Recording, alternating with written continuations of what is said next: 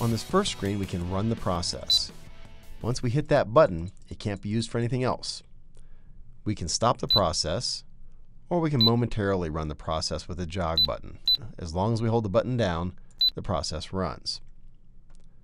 There's also a status message over here that shows the current status of the system. It says running or stopped. Clearly all four of these things are related somehow. Let's see how that works. If we go to screen 1, all the things we're interested in are dimmed out and we can't access them. That's because they're actually on a background screen. We'll discuss why that is in the video on using the shift keys, but for now, know that all those objects are actually down here on screen 15. If we double click on the Run button, we can see that it's a bitmap button. This is so the user can use his own graphics for the button. This button is controlling the Run tag, and it's also using that same tag to drive the graphic indicator of the button. This is how you get a push button action, but with a graphical indicator, by using the same tag for both. Here's the key right here though. It's using the set on action. That way once the run button is pressed, it can't be unpressed. Something else has to change that tag back to off. Now if we look at the jog button, it's the exact same thing, but different graphics, and it's set to a momentary action. So when it's released, it sets the tag back to off. The stop button is exactly the same as the run button, except it's using the set off action. So once it's set to off, it can't be unset. The tag has to be modified by something else like the run button to set it back to on. And this is a dynamic bitmap, which changes states between these two graphics as a function of the run tag. So now we see how all four of these objects work together. When we press run, it modifies this run tag to on. This dynamic bitmap is watching that tag and it changes accordingly. When we hit stop, it changes that tag back to off, and this dynamic bitmap sees that and changes the bitmap. Down here we have a speed control where we can adjust the speed of the process. Let's see how that works.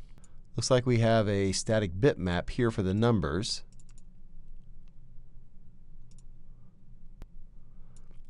An outline, a white box, a graphic, and an increment decrement operator. Set to increment only right here instead of an increment decrement. It chooses one operation. We choose it to be an increment op operation, and it's going to increment the speed tag. I'm hit Control Z to put all those things back where we found them.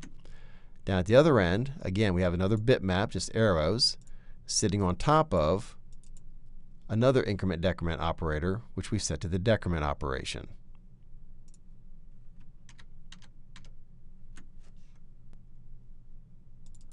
Note that these increment and decrement operators are set to increment and decrement by 10. So this is important to note.